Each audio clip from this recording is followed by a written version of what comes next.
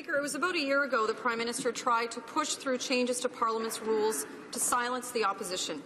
Now, that attempt ended in complete failure and he had to back down. But yet, here he is again, at it again, wanting to centralize his power. This time he wants to shut down debate and he only wants to show up for question period one day a week. Why is the Prime Minister so determined to avoid accountability? The right honourable Prime Minister.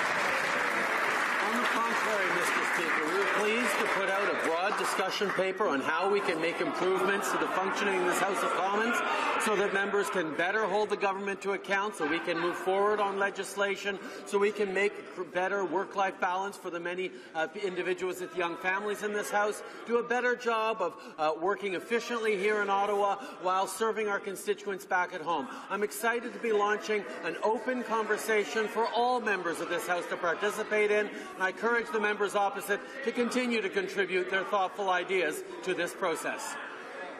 Order. The Honourable Leader of the Opposition. Speaker, the Prime Minister's plan undermines the very principles of responsible and accountable government. The fact that the Prime Minister doesn't want to show up to answer questions more than once a week shows how little respect he has for Canada's Parliament.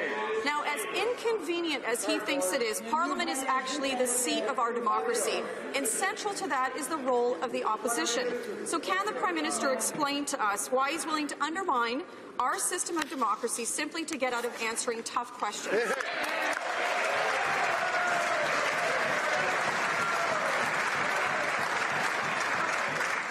Right Honourable Prime Minister.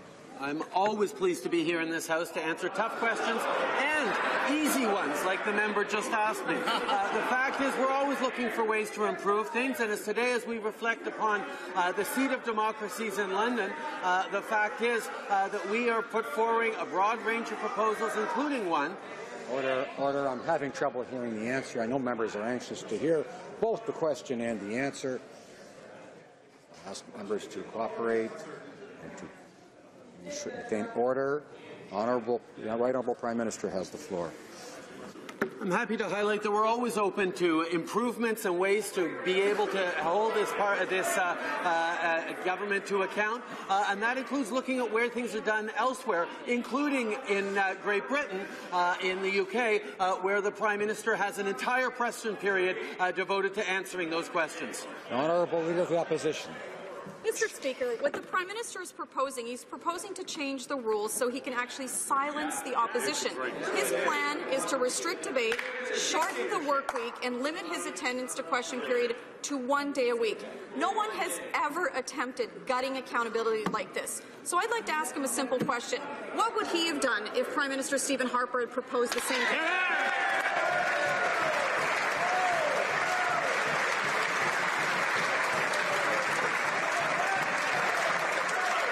Honourable Prime Minister.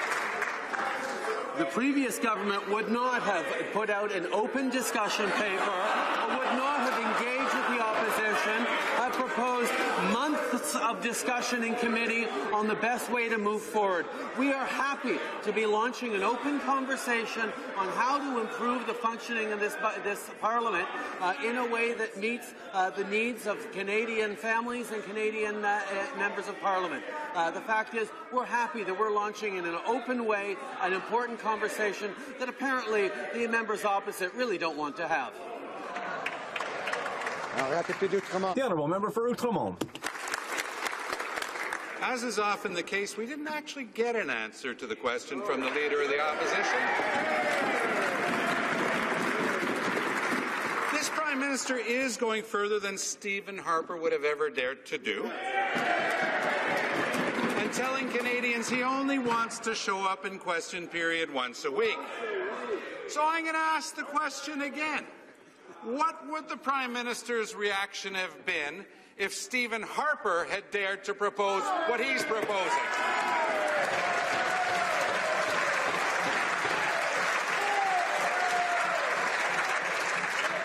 Right Honourable Prime Minister. Again, Mr. Speaker, the way we are going about this is by opening a discussion, an open conversation uh, with the members opposite about how to. Order, order. The honourable member for St. Albert, St. Albert, Edmonton, and others. I know will want to hear both the questions and the answers, and will, I'm sure, manage to calm themselves Both members in all parties can listen to what they hear, even when they don't like it, and not react. The Honorable, Right Honourable Prime Minister. I wonder about the school children in the gallery who are wondering at how effective this Parliament actually is right now. We are proposing ways to discuss how to the quality of debate and allow the government to be held to account in a thoughtful, responsible way, and this kind of shouting is what they get. That's not worthy of this Parliament. It's not worthy of the people they serve, Mr. Speaker. The Honourable.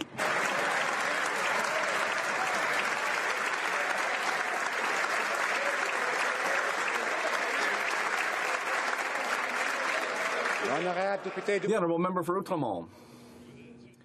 Really could replace him with a cardboard cutout.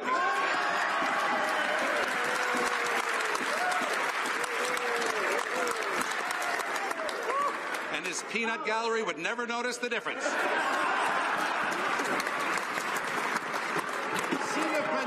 If the Prime Minister sincerely wants to work with the other parties, would he accept uh, putting in place a proportional committee where no party could impose changes for to their advantage? If he's so worried about the reaction of the students here today, will he stand up for once and show that he is a Democrat? The Right Honourable Prime Minister. I am very happy to be able to welcome all the young people uh, in the galleries today to announce that we are putting forward a budget that is going to help the middle class, that will ensure their future. That's what we should be talking about today, and the Lord, nous pouvons voir we can see that it's possible to make points without having everyone speak at the same time. We can make uh, good points all the same if only one person at a time is speaking. The Right Honourable Prime Minister.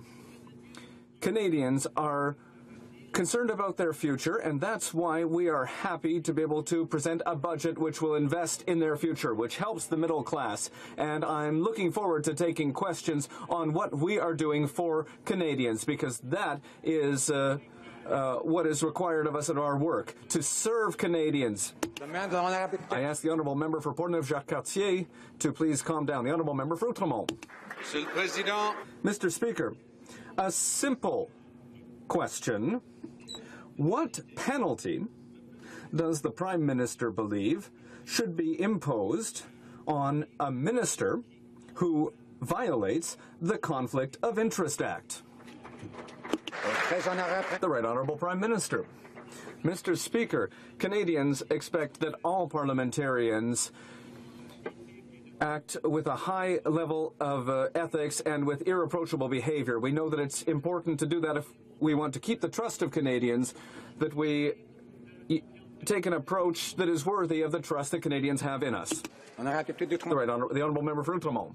And when a minister breaks that confidence, what is the penalty? Instead of uh, turning around, the prime minister should answer the question, Mr. Speaker.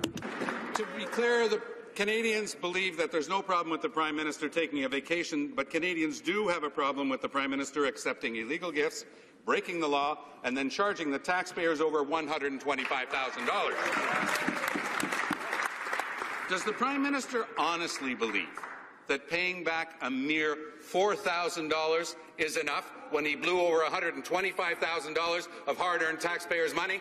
The Right Honorable Prime Minister. Mr. Speaker, as is the custom for previous prime ministers, uh, we repaid the cost of uh, commercial equivalent flights. Uh, the fact is, the RC, but the, for the first time, we actually put in place a system of rules that oversee that because there was never that in, in previous uh, parliaments or under previous prime ministers. Uh, the other fact is the RCMP makes determinations on how to protect the prime minister, and we will not second guess the decisions of the prime minister that the uh, that the RCMP makes. The Honourable Member for Lanark Frontenac Kingston. Well, if he gets his way, we really ne- never will get to second guess the Prime Minister. The Prime Minister would put everybody's mind at ease if he would just agree that he won't use his majority to ram through changes to the standing orders without all party consent. Unanimity has always been sought for changes to the rules that divide power between government and opposition. For example, the committee that Jean Chrétien set up to review the standing orders had unanimous consent written into its mandate. But this Prime Minister seems to feel that decades of precedents count for nothing. So my question to him is this. Why the fuddle-duddle won't he commit to the long-standing practice that you don't change the rules without unanimous consent?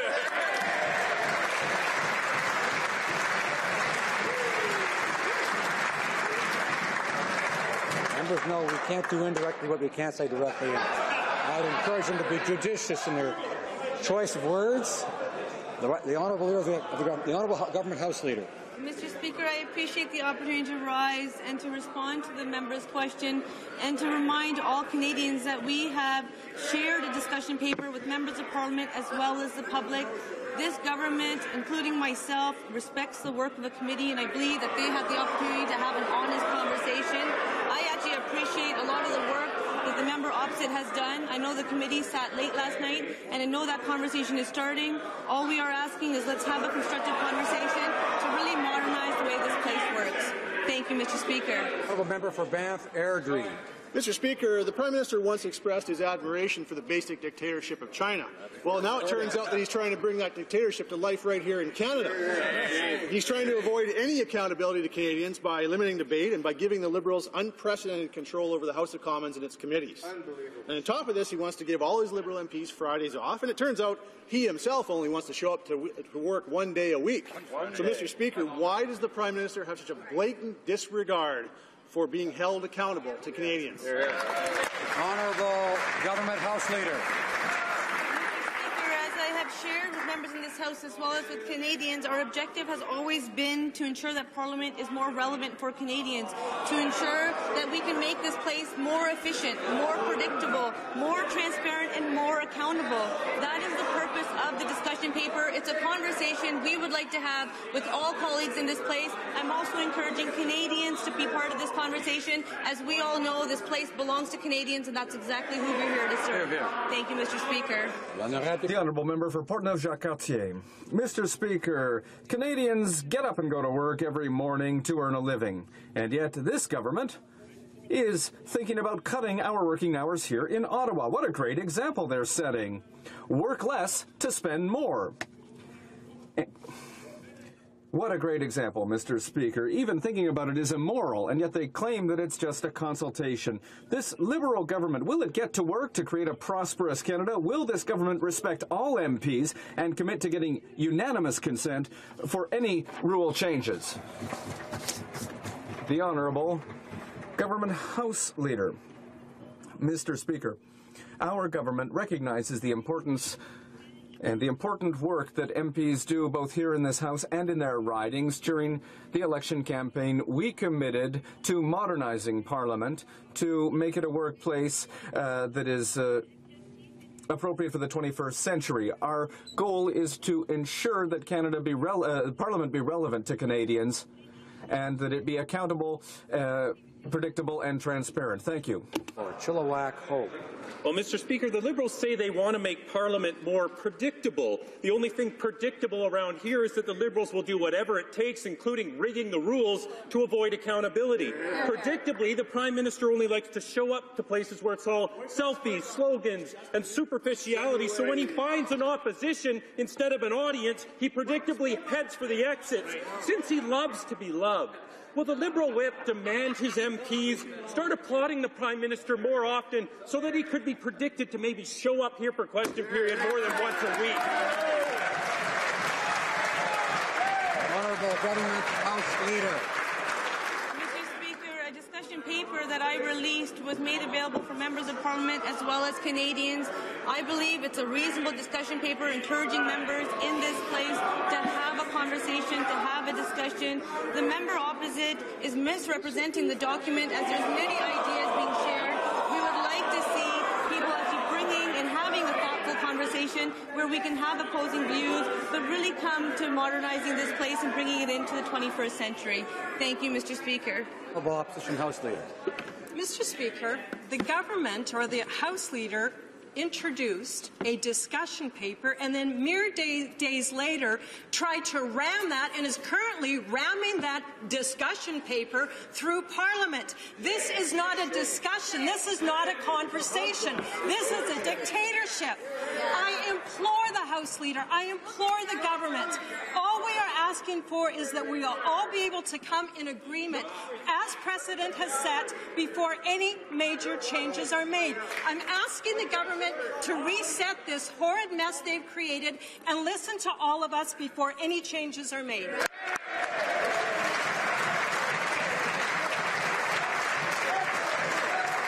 Honourable Government House Leader. Mr. Speaker, it is a discussion paper, and I encourage all members as well as the public to read it in its entirety. There are many great ideas, and we are asking the committee to actually broaden the scope of their study. We know that many ideas have already been presented. I have made myself part of that conversation. Every single member of Parliament is here to do important work for Canadians. We would like to make this place more relevant to Canadians, and I'm sure all members would agree that we can work better together. Thank you, Mr. Speaker. The Honourable Opposition House This is unbelievable, Mr. Speaker, and there can only be one conclusion drawn. There's a quote, I'm sure the Prime Minister is very familiar. It's solutions to important problems are decided not by party committee but by one individual. Well, you know who said that? Chinese dictator Chairman Mao. Well, you know what? Canada is not China. Canada is not a dictatorship. Mr. Speaker, the Prime Minister is not the supreme emperor. So maybe he could do Canadians a favor. Don't take another vacation and don't come back until he's ready to stop acting like those dictators.